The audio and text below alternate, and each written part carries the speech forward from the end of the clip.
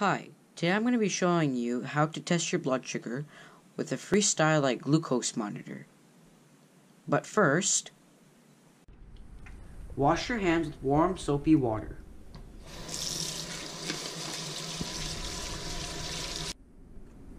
Dry your hands with a paper towel. Make sure you get your fingertips.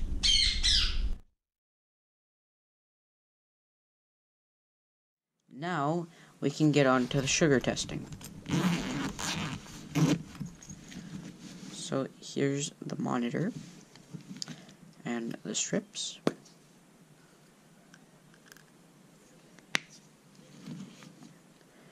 This part right here goes into the slot right here.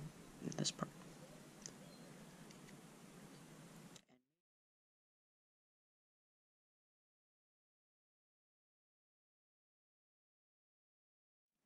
Make sure you test on the tip of your fingers. Or make sure you poke on the tip of your fingers. Don't poke in the middle.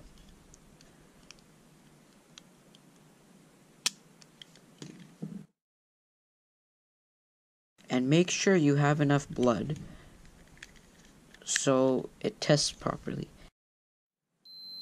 And how you know there's enough blood is when it beeps.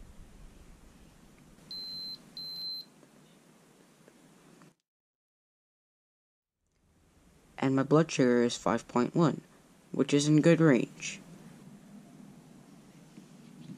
And now we have to put it back together.